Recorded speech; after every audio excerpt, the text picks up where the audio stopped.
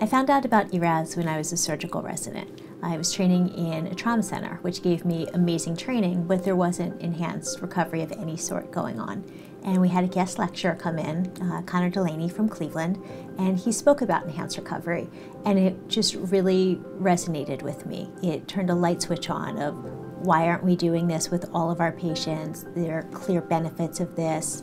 That's sort of what has guided me on my course with enhanced recovery, with my personal research, and with my mentorship.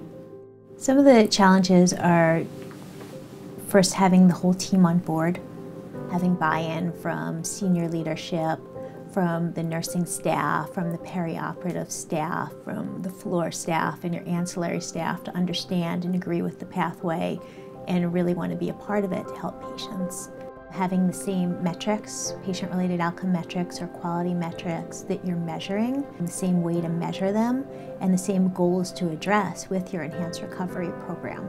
And then it's a matter of time and resources also, of who's capturing the data, the effort put into it, where the data is being kept, how it can be accessed, and how it can be pulled for quality improvement.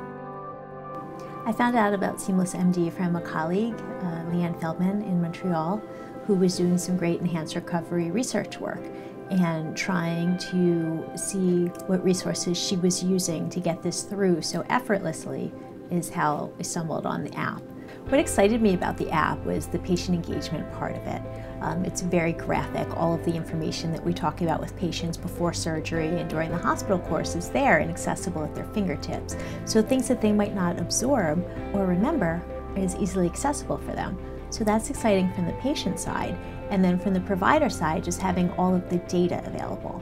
Patient-related outcome metrics, quality characteristics, um, anything that we can use for quality improvement and for hospital quality improvement as well as physician practice improvement is readily available.